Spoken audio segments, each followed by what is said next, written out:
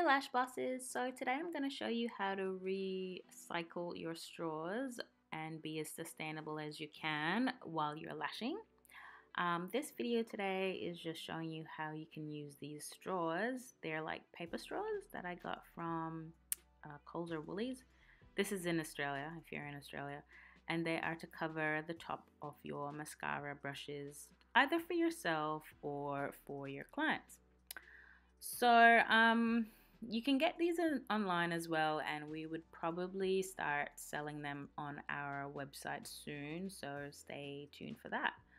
Uh, so what I'm doing now is just checking that the size is actually the right thing that I want to use for my mascara brush because some straws are smaller than some. I'm going to clean my scissors because I was using it before for something else with an alcohol swab.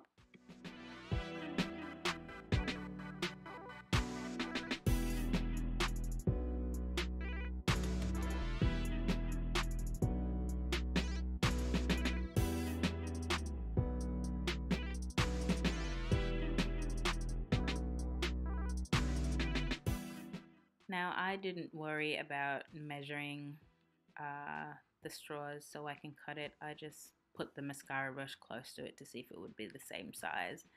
And then I'm going to just cut it so I can cover the head of the mascara brush.